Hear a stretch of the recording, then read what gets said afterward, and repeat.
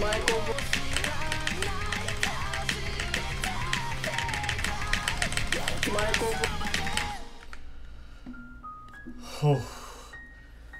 oh my god.